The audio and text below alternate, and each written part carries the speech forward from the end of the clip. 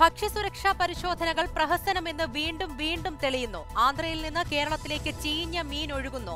പുഴുത്ത മീൻ വിൽക്കുന്നത് ഫ്രഷ് മീൻ എന്ന പേരിൽ. ട്രെയിൻ മാർഗം എത്തുന്ന കേടായ മീൻ പിടികൂടിയ കേസുകൾ വളരെ കുറവാണ്.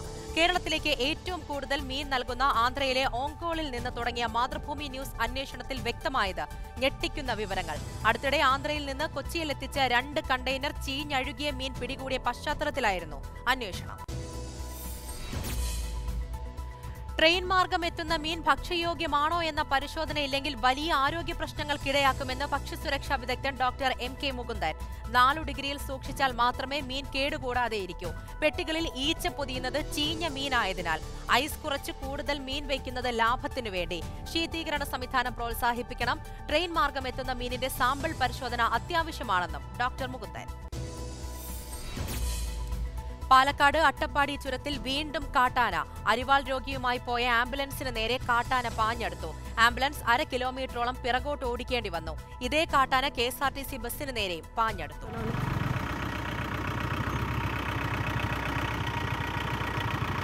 അയ്യോ തിരിയുന്നുണ്ട് തിരിയുന്നുണ്ട്.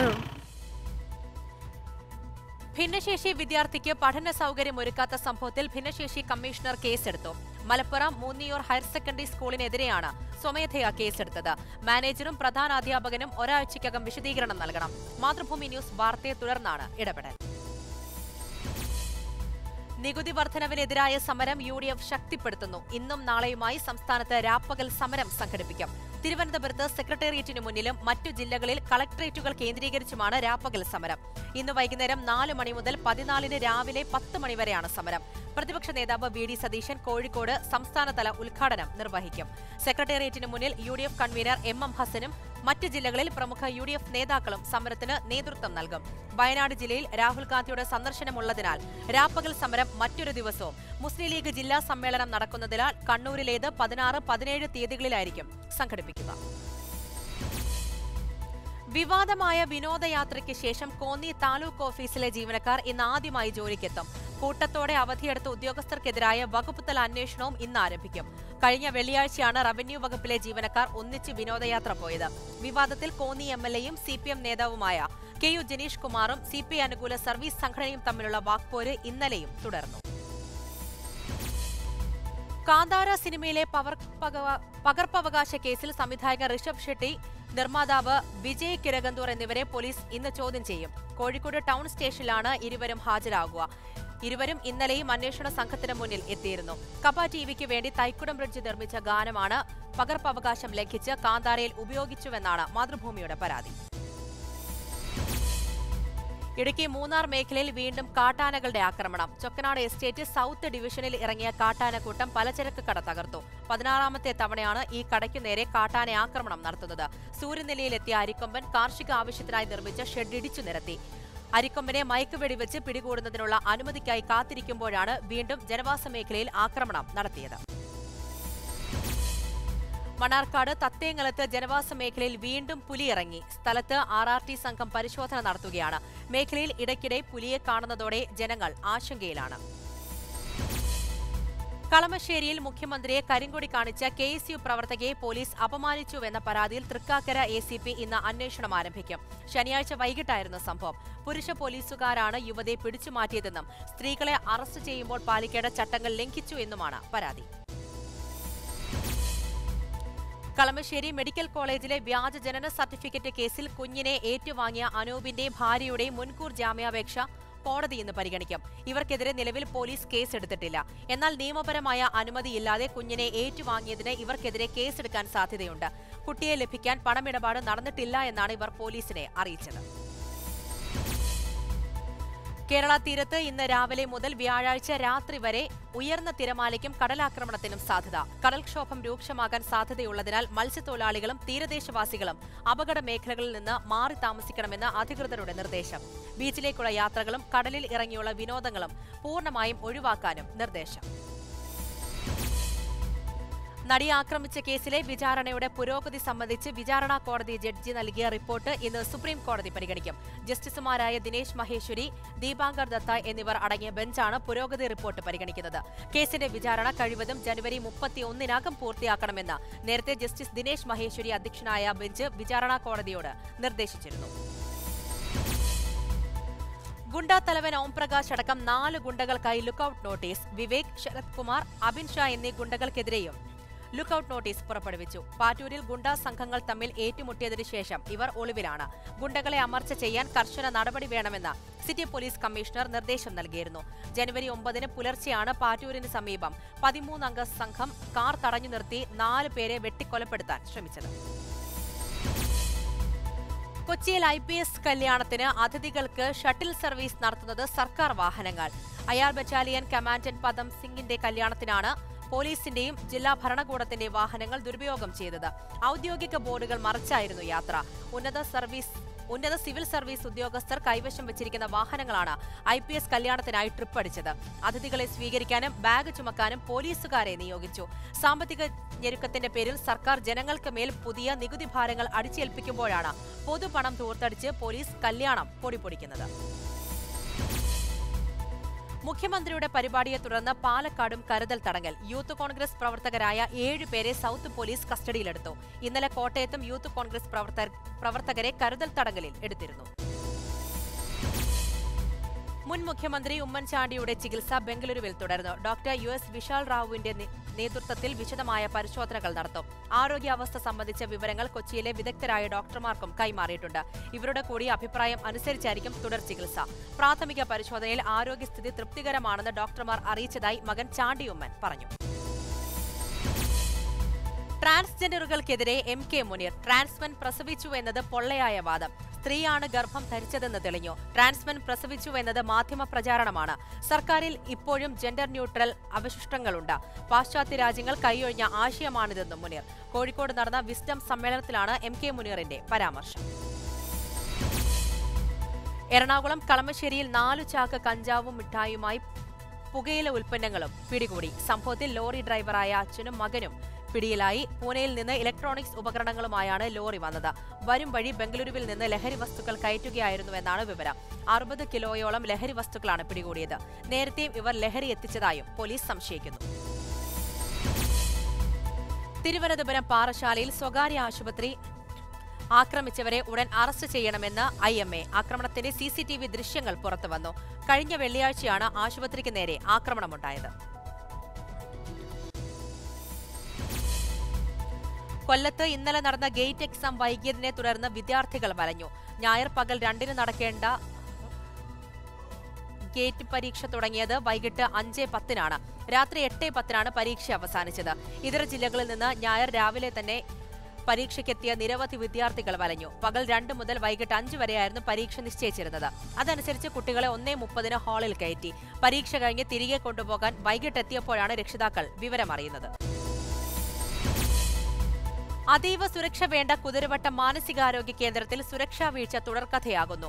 കൊലക്കേസ് പ്രതിയായ അന്തേവാസി പുറത്തു ചാടിയതാണ് ഒടുവിലത്തെ സംഭവം.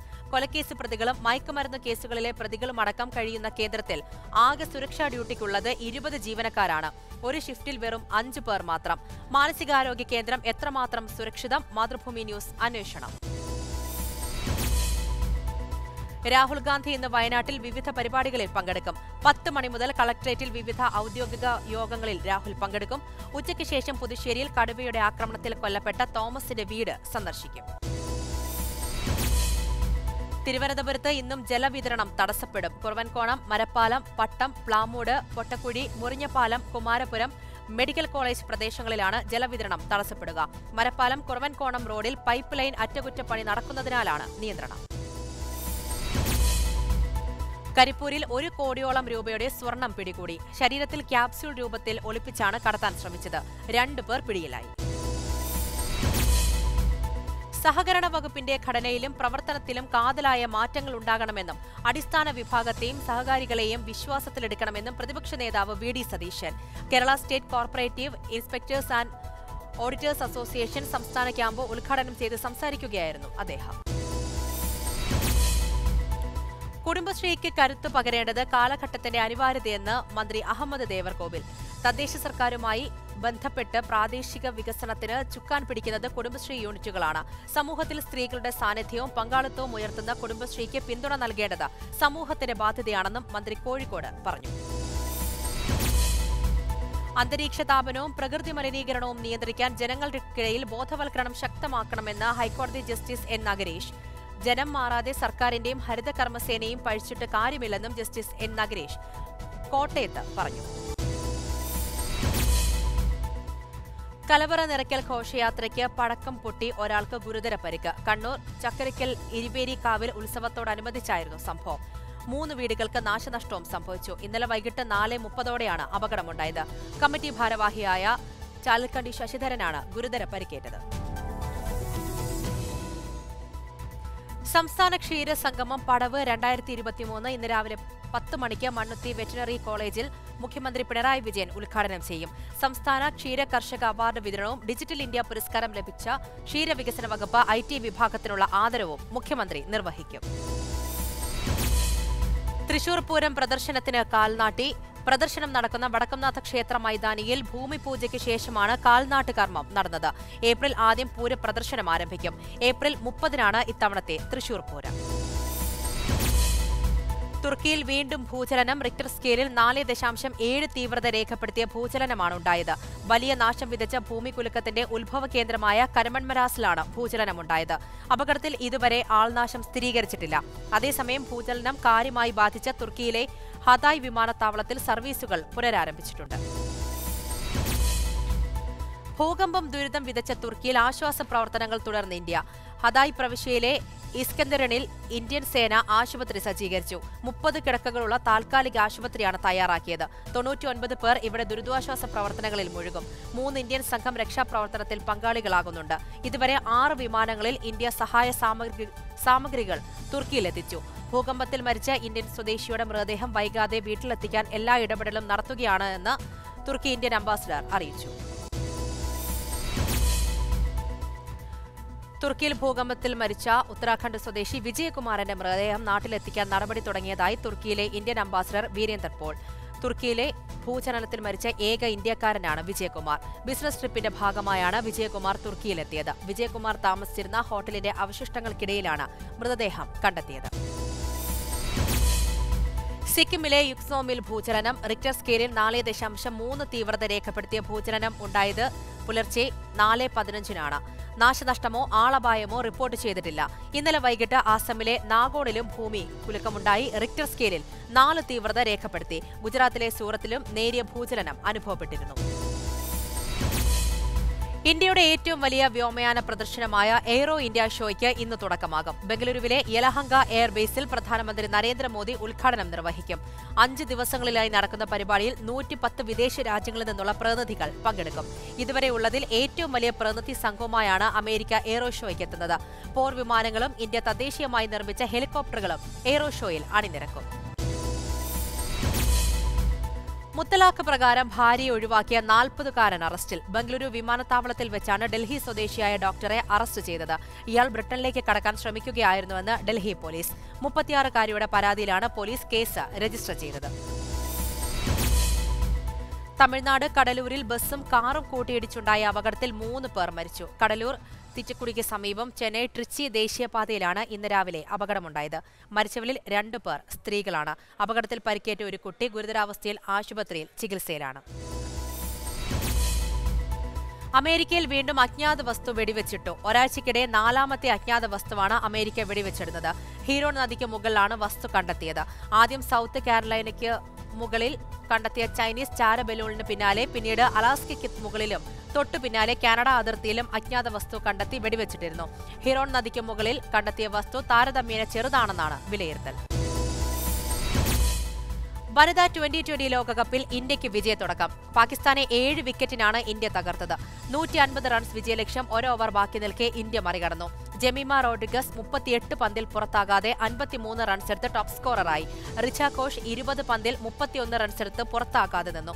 ടോസ് നേടി ആദ്യം ബാറ്റ് ചെയ്ത പാകിസ്ഥാൻ നാല് വിക്കറ്റ് നഷ്ടത്തിലാണ് നൂറ്റി ഒൻപത് റൺസെടുത്തത് ക്യാപ്റ്റൻ ബിസ്മ മഹ്റൂഫ് അൻപത്തിയഞ്ച് പന്തിൽ അറുപത്തിയെട്ട് റൺസെടുത്ത് ടോപ്പ് സ്കോററായി അവസാന ഓവറുകളിൽ ആയിഷ നസീം തകർത്തടിച്ചു. ഇരുപത്തിയഞ്ച് പന്തിൽ രണ്ട് വീതം സിക്സും ഫോറും ഉൾപ്പെടെ ആയിഷ നാൽപ്പത്തിമൂന്ന് റൺസെടുത്ത് പുറത്താകാതെ നിന്നു.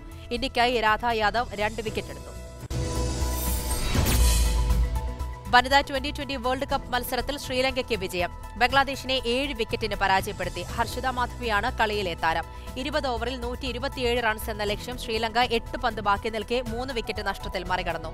ശ്രീലങ്കയ്ക്ക് വേണ്ടി മാധവി അൻപത് പന്തിൽ പുറത്താകാതെ അറുപത്തിയൊൻപത് റൺസ് നേടി. പ്രഥമ വനിതാ ഐ പി എല്ലിനുള്ള താരലേലം ഇന്ന് നടക്കും. ഇരുന്നൂറ്റി നാൽപ്പത്തി ആറ് ഇന്ത്യൻ താരങ്ങളും നൂറ്റി അറുപത്തിമൂന്ന് വിദേശ താരങ്ങളും ഉൾപ്പെടെ ആകെ നാനൂറ്റി ഒൻപത് താരങ്ങളാണ് ലേലത്തിൽ പങ്കെടുക്കുക. ഇന്ത്യൻ ക്യാപ്റ്റൻ ഹർമൻ ഹർമൻപ്രീത് കൌർ സ്മൃതി മന്ദാന ദീപ്തി ശർമ്മ ഷെഫാലി വർമ്മ തുടങ്ങിയ ഗ്ലാമർ താരങ്ങൾക്ക് അൻപത് ലക്ഷം രൂപയാണ് അടിസ്ഥാന വില. പന്ത്രണ്ട് കോടി രൂപയാണ് ഓരോ ടീമിനും ചിലവാക്കുന്ന പരമാവധി തുക.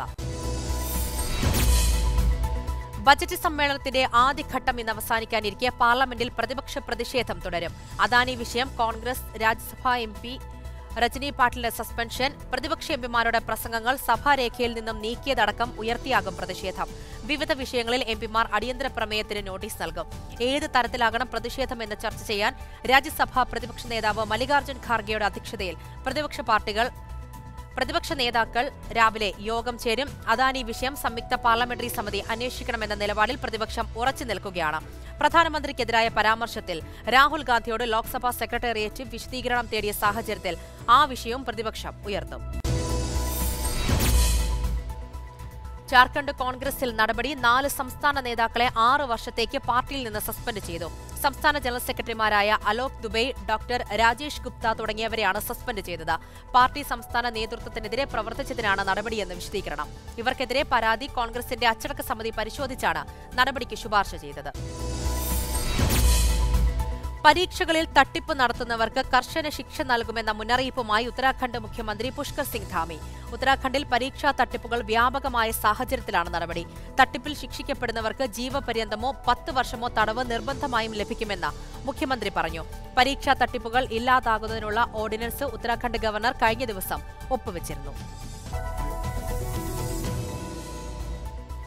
അലഹബാദ് ഹൈക്കോടതി ചീഫ് ജസ്റ്റിസ് രാജേഷ് ബിന്ദൽ ഗുജറാത്ത് ഹൈക്കോടതി ചീഫ് ജസ്റ്റിസ് അരവിന്ദ് കുമാർ എന്നിവർ സുപ്രീം കോടതി ജഡ്ജിമാരായി ഇന്ന് സത്യപ്രതിജ്ഞ ചെയ്ത് അധികാരമേൽക്കും.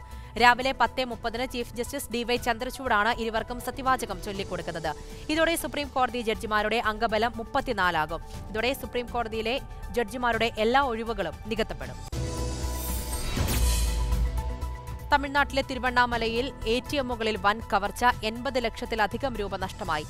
ഗ്യാസ് കട്ടർ ഉപയോഗിച്ചാണ് പ്രതികൾ കവർച്ച നടത്തിയത്. മോഷണത്തിന് ശേഷം സി സി ടി വി ക്യാമറകൾ ഉൾപ്പെടെ അഗ്നിക്കിരയാക്കി. അന്വേഷണത്തിനായി ആറ് പ്രത്യേക സംഘങ്ങളെ രൂപീകരിച്ചിട്ടുണ്ടെന്ന് തിരുവണ്ണാമലൈ പോലീസ് വ്യക്തമാക്കി. ഉത്തരാഖണ്ഡിൽ ടൂറിസം പ്രോത്സാഹിപ്പിക്കാൻ നടപടികളുമായി മുഖ്യമന്ത്രി പുഷ്കർ സിംഗ് ധാമി. പൌരിഗർവാളിലെ ഹോംസ്റ്റേയിൽ ധാമി ഇന്നലെ രാത്രി പ്രദേശവാസികളോടൊപ്പം തങ്ങി.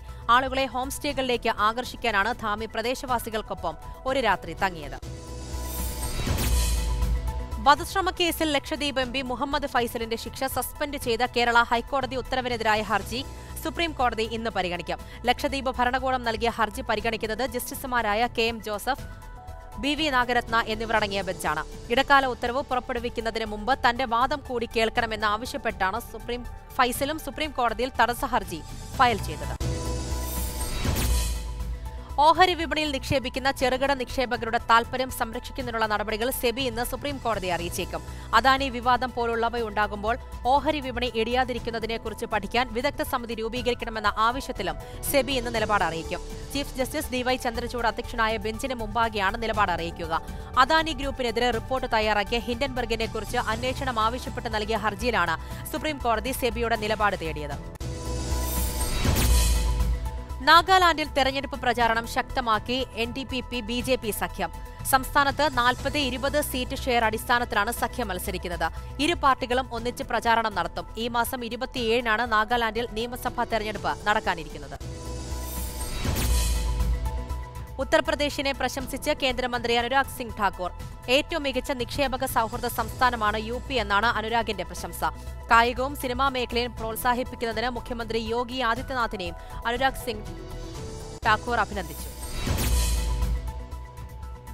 സിറിയയിലുണ്ടായ ഐ എസ് ആക്രമണത്തിൽ പതിനൊന്ന് പേർ കൊല്ലപ്പെട്ടതായി റിപ്പോർട്ട്. പാൽമൈറയിൽ കൂൺ കൃഷി നടത്തുന്നവർക്ക് നേരെയായിരുന്നു ആക്രമണം. മരിച്ചവരിൽ ഒരാൾ സൈനികനാണ്. തുർക്കിയിലെ അപകടത്തിന്റെ വ്യാപ്തി വർദ്ധിക്കാൻ കാരണം കെട്ടിടങ്ങളുടെ ബലക്ഷയമെന്ന് വിദഗ്ധർ. കെട്ടിട കരാറുകാർ ഉൾപ്പെടെ പന്ത്രണ്ട് പേരെ തുർക്കി പോലീസ് കസ്റ്റഡിയിലെടുത്തു. തുർക്കിയിൽ പുതിയതായി നിർമ്മിക്കുന്ന പല കെട്ടിടങ്ങളും വേണ്ടത്ര സുരക്ഷിത സുരക്ഷിതമല്ലെന്ന് വിദഗ്ധർ മുന്നറിയിപ്പ് നൽകിയിരുന്നതായി റിപ്പോർട്ട്. ഭൂകമ്പ സാധ്യതയുള്ള പ്രദേശങ്ങൾ ഉൾപ്പെടെ കെട്ടിട നിർമ്മാണങ്ങൾ ലംഘിച്ചുകൊണ്ടുള്ള നിർമ്മിതികൾ സജീവമായിരിക്കുന്നുവെന്ന് വിദഗ്ധർ അറിയിച്ചു. തുർക്കിയിൽ കെട്ടിടാവശിഷ്ടങ്ങൾക്കിടയിൽ കുടുങ്ങിയ അമ്മയുടെ അടുത്തുനിന്നും മാറാതെ മകൻ. മുപ്പത്തിയാറ് മണിക്കൂറാണ് സിറിയൻ സ്വദേശി സ്വന്തം വീടിന്റെ അവശിഷ്ടങ്ങൾക്കിടയിൽ ജീവന് വേണ്ടി മല്ലിട്ടത്. പോരാട്ടത്തിനൊടുവിൽ രക്ഷാപ്രവർത്തകർക്കൊപ്പം മകനും അമ്മയെ കൈപിടിച്ചു കയറ്റി. ഭൂകമ്പത്തിൽ തകർന്ന തുർക്കിക്കും സിറിയയ്ക്കും സഹായഹസ്തവുമായി അറേബ്യൻ രാഷ്ട്രങ്ങൾ. തൊണ്ണൂറ് ടൺ മരുന്നും ഭക്ഷണ പദാർത്ഥങ്ങളും മറ്റ് ആവശ്യ വസ്തുക്കളും ശേഖരിച്ചു. ഇവ സൈനിക വിമാനത്തിൽ നാളെ സിറിയയിലെത്തിക്കും. ന്യൂക്ലിയർ വാർഹെഡുകളുടെ എണ്ണം വർദ്ധിപ്പിക്കാൻ ഒരുങ്ങി ചൈന. രണ്ടായിരത്തി മുപ്പത്തി അഞ്ചോടെ തൊള്ളായിരത്തിലേക്ക് എത്തിക്കുകയാണ് ലക്ഷ്യം. പീപ്പിൾസ് ലിബറേഷൻസ് ആർമി തയ്യാറാക്കിയ ബ്ലൂ പ്രിന്റ് പ്രസിഡന്റ് അംഗീകരിച്ചതായാണ് റിപ്പോർട്ട്. നിലവിൽ ന്യൂക്ലിയർ വാർഹെഡുകളുടെ എണ്ണത്തിൽ റഷ്യയാണ് ഒന്നാം സ്ഥാനത്തുള്ളത്. ഇന്ത്യൻ സൂപ്പർ ലീഗിൽ ചെന്നൈയിൻ എഫ് സി വീണ്ടും വിജയവഴിയിൽ ഈസ്റ്റ് ബംഗാളിനെ എതിരില്ലാത്ത രണ്ട് ഗോളുകൾക്ക് പരാജയപ്പെടുത്തി. എട്ട് മത്സരങ്ങൾക്ക് ശേഷമാണ് ചെന്നൈയിൻ വിജയവഴിയിലേക്ക് മടങ്ങിയെത്തുന്നത്. ജയത്തോടെ പതിനെട്ട് മത്സരങ്ങളിൽ നിന്നും ഇരുപത്തിയൊന്ന് പോയിന്റുമായി ചെന്നൈയിൻ എട്ടാം സ്ഥാനത്താണ്. ലാലിക മത്സരങ്ങളിൽ ബാഴ്സലോണയ്ക്കും അത്ലറ്റിക്കോ മാഡ്രിഡിനും ജയം. എതിരില്ലാത്ത ഒരു ഗോളിന് അത്ലറ്റിക്കോ സെൽറ്റാവിഗോനെ വിഗോ സെൽറ്റ വിഗോനെ തകർത്തപ്പോൾ വി ആർ ഐഎലിനെതിരെ ബാഴ്സയുടെ ജയവും ഏകപക്ഷീയമായിരുന്നു. പതിനെട്ടാം മിനിറ്റിൽ പെഡ്രിയാണ് വി ആർ ഐ എല്ലിനെതിരെ ബാഴ്സയ്ക്കായി ഗോൾ നേടിയത്.